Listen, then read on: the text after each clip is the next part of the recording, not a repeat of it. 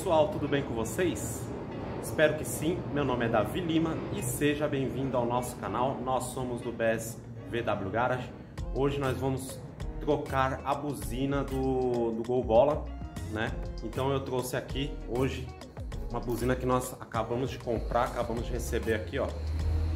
Uma buzina famosa paquerinha da Bosch, né? Uma buzina muito boa.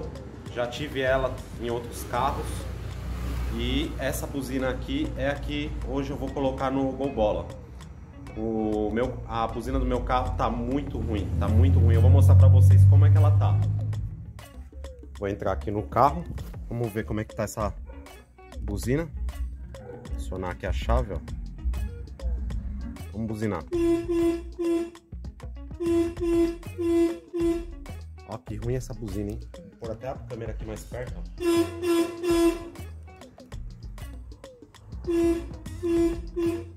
Buzina muito ruim, pessoal.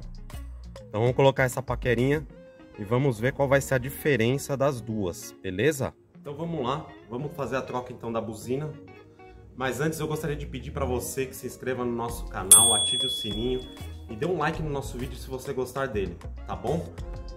Siga lá a gente no Instagram também, tá bom? Nosso Instagram é bes.vwgarage, beleza? E acompanhe a gente aí nas nossas novidades aí do canal, tá bom? Vamos lá então, pessoal.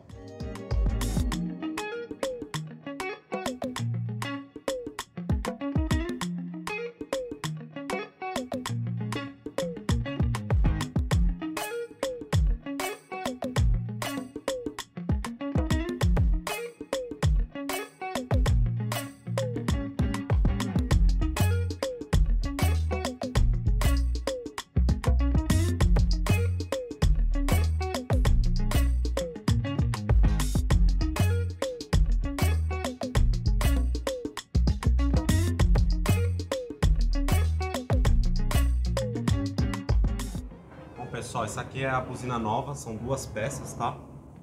Para formar o conjunto, ter um bom rendimento aí na, na hora de disparar a buzina, tá? Então o que, a gente vai ter que fazer? Vamos ter que interligar as duas buzinas, né?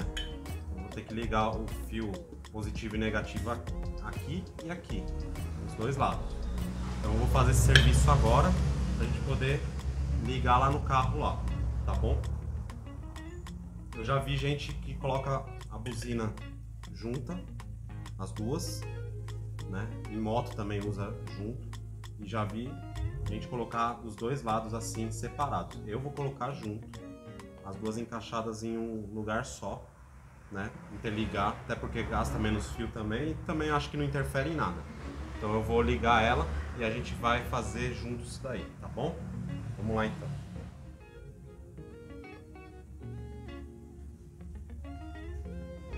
Aí eu arrumei um pouco de fio aqui, ó, fio preto, fio vermelho, vou fazer o negativo e o positivo. E também terminais para colocar nas pontas para poder ligar aqui. No caso, é este terminal aqui. Vamos colocar no fio e fazer as ligações.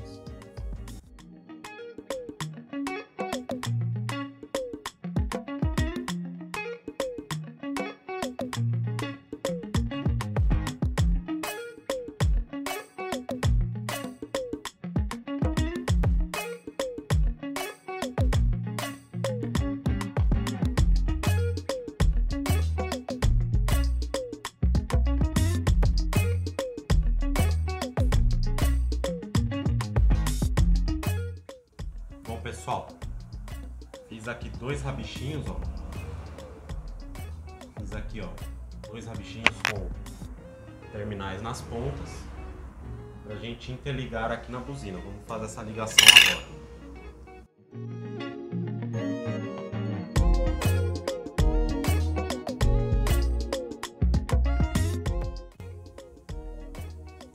Já interliguei aqui, ó, tá?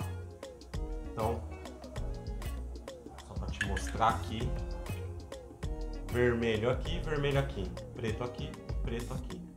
Tá? Não tem lado definido. Olhei aqui, não tem nenhum lado definido. Também olhei no manual, não tem nada indicando também. Então eu é, acredito então que é, qualquer lado aqui não tem importância. Então eu liguei no lado direito vermelho, no lado direito vermelho, no lado preto, no lado esquerdo preto, no lado esquerdo preto.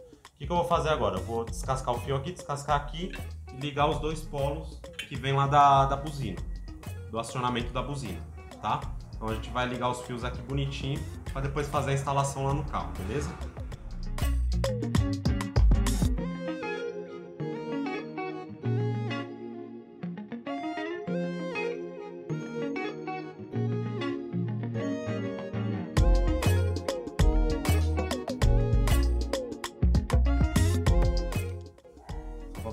Aqui, ó, descasquei os fios mais ou menos aqui, ó, nessa posição, para poder vir com o fio que vai dar o sinal aí da do funcionamento, tá bom? Vamos ligar aqui. Já descasquei aqui, ó, dois fios que é onde eu vou ligar lá.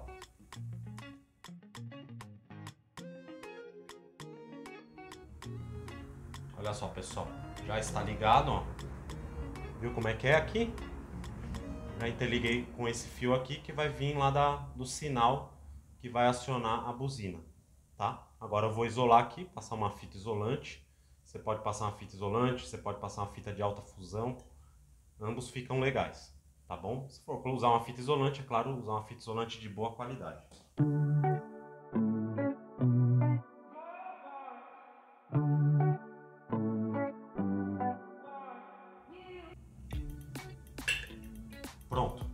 Passado a fita isolante, ó, tudo isoladinho, tudo bem feito.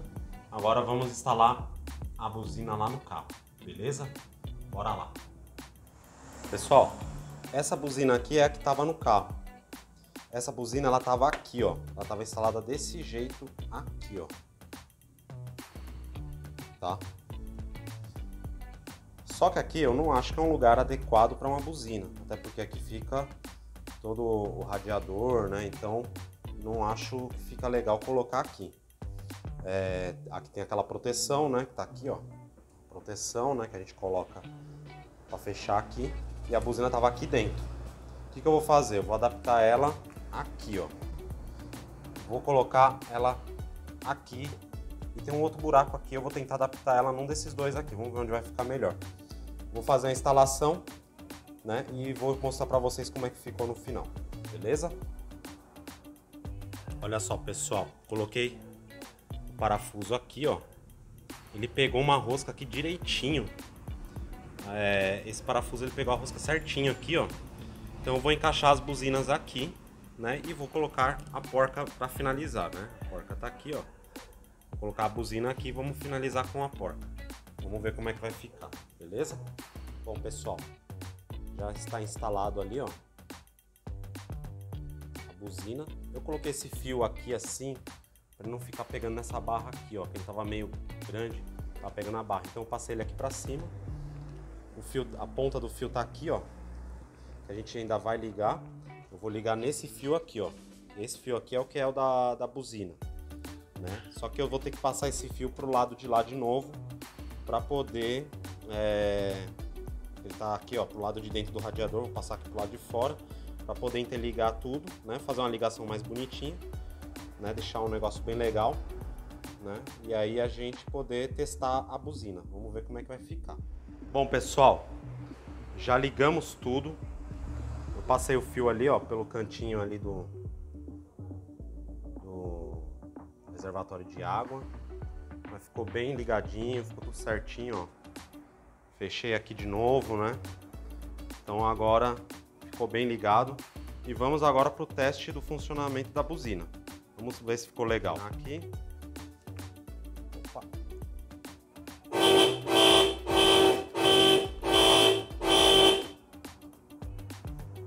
Ficou legal, né, pessoal? Buzina funcionando direitinho. Então aqui tá tudo certo, buzina trocada. Então é mais um item aí, mais uma dica aí que eu dou para vocês aí. Buzina paquerinha da Bosch. Mais uma etapa concluída, mais uma dica aí que passamos para vocês aí sobre a buzina, né?